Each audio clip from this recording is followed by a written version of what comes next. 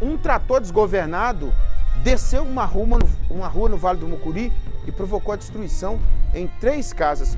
O caso foi registrado no bairro São Cristóvão. É, Fantônio, foi em Teoflotone. É, e o, e o trator é pesadão, que eu já vi na imagem ali, Fantônio. Boa tarde para você, amigo. Boa tarde, Comércio. Estamos de volta com as, essa cena. Até pediu o Jairão para voltar essa pan aí, da descida é, tá, a trajetória desse trator conhecido como moto nivelador, é isso aí. Essa, olha o trator estava lá em cima e voltou de marcha ré e entrou aí na terceira casa. Nicomedes, isso aconteceu na rua Rita Cardoso, no bairro São Cristóvão, na noite, no início da noite de ontem, quando o motorista dessa moto niveladora, também conhecido como Patrol, popularmente conhecido como Patrol, ele saiu da oficina e estava em direção a um galpão da empresa. Ao subir a rua Rita Cardoso, não se sabe o que aconteceu, o motorista perdeu o controle e o veículo desceu em marcha ré. Ele bateu no meio-fio, arrancou todo o muro da primeira casa, arrancou essa parte aí dessa segunda casa que estava desabitada e caiu na terceira, na varanda da terceira casa. Aí a destruição foi muito maior. E por que a tragédia não aconteceu, Nicomedes? Foram danos materiais é, para, esses três imóveis, mas não aconteceu uma tragédia porque o morador da terceira casa, onde essa patrol ficou é, na varanda, ele tinha saído para uma caminhada.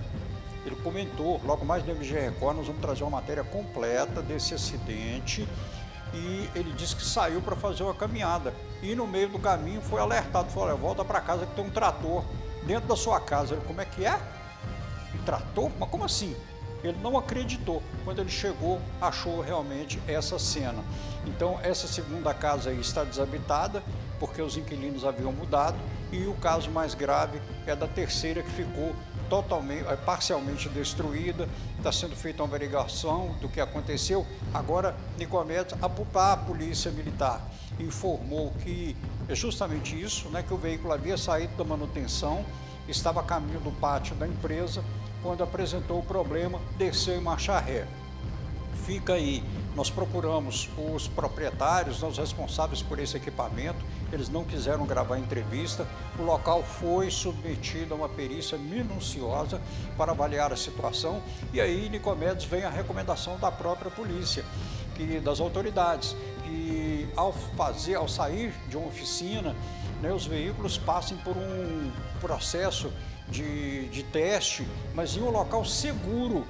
E há uma informação também da, de parte da polícia, né, a polícia foi informada que o, o condutor desse veículo passou por uma rota não recomendada. Ele não estava na rota mais segura para fazer esse deslocamento com esse tipo de veículo. Logo mais, no MG Record, nós vamos trazer também uma testemunha desse caso. Ele vai contar o que viu na hora em que o trator subia a rua e ele assistiu ao acidente.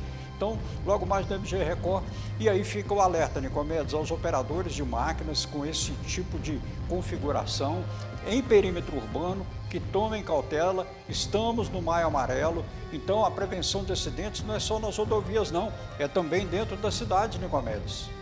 É tudo nesses trechos, igual a gente vê ali, que é um morro, né? um morro a pique, né, Fantônio? Perigoso, né? Um veículo tão pesado como é uma patrola, um trator,